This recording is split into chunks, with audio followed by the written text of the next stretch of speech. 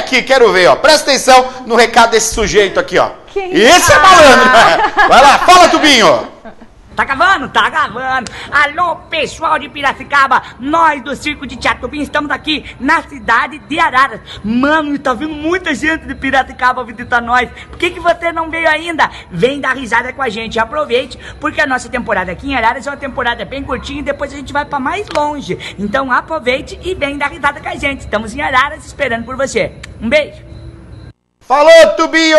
Valeu! Eu fui ontem lá no Ô, Maria, né, Maria? Fomos ontem lá no Ah, Tubinho! Tubinho é maravilhoso. Muito bom, tá em Araras, viu, gente? Aproveite que, ó, agora são duas semanas pra ir embora. Vai sair de férias o ciclo Tubinho. Eu não sei onde vai voltar, qual cidade, pode ser que volte longe. Então, o maior palhaço do Brasil está em Araras. Lugar muito legal lá, um terreno muito bacana em Araras. Tem muito piracicabana indo pra lá. Eu convido vocês pra ir até o Ciclo Teatro do Tubinho.